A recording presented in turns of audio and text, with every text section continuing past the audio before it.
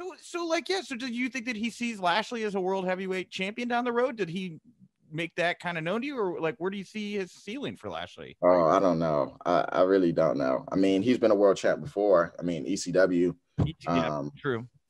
But you know, I think I mean Lashley is a monster. Like he he's he's huge. He's I think he's uh he's he's super charismatic. I don't know how people, you know, maybe I'm just saying that because I'm around him. You know, I was around him 24 7, you know, on camera, off camera, you know, doing our own promos and skits and stuff. I don't know if you saw those promos and skits that we did on like social media, but I mean, yeah, it clear as day that he has, you know, charisma and uh so I think I think he has all the tools to be a, you know, okay uh, a world champion. I don't know how how Vince or anybody else sees it, but I, I, definitely see it. So if you were so close to Vince and everything, then like why didn't the Lashley and you pairing keep going? Like why did you get pulled and then wind up find yourself back up and up in NXT then? Yeah, I don't know.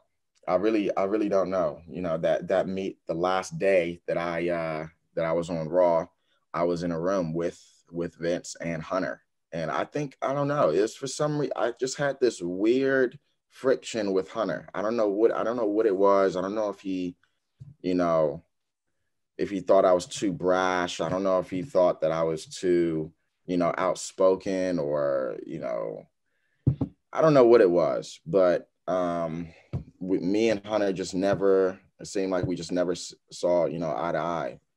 Yeah. Well, and I'm going to I'm gonna draw a conclusion here that I kind of came to, and you can tell me if I'm like full of shit or if there was something to it. But like when you came back to NXT, it was right around the same time that all the ACH stuff was going on, and I felt like they were looking to show that we can work with a young African American man who's very or black man who's very outspoken.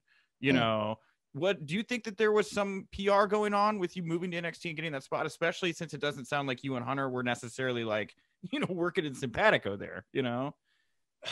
You see, that's a very uh, touchy um, subject. I and, and I didn't even think about that, um, you know, before. But I don't, I don't know. You know, I don't know what they what they think. I'm I'm sure, you know, ACHs. I don't I don't know what the extent of his situation was. I, I knew that it was bad. I knew that it was ugly. I knew that you know a lot of people you know didn't like it.